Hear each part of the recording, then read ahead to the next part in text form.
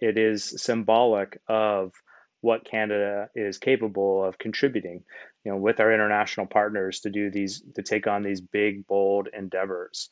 Um, you know, MDA, as you mentioned, is building a third generation of space robotics, and that that was, you know, the prime contribution that led to this Artemis 2 mission was that commitment to build deep space robotic or robotic systems for the Gateway, which will be a, a space station around the moon, um, and doing uh, space robotics in, around the moon is much more complicated than doing them in low Earth orbit. When you said symbolic, I think that is what has struck me the most about this mission assignment for me is just what it truly says about our Canadian space industry.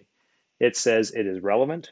It says it has a meaningful contribution to make with our international partners.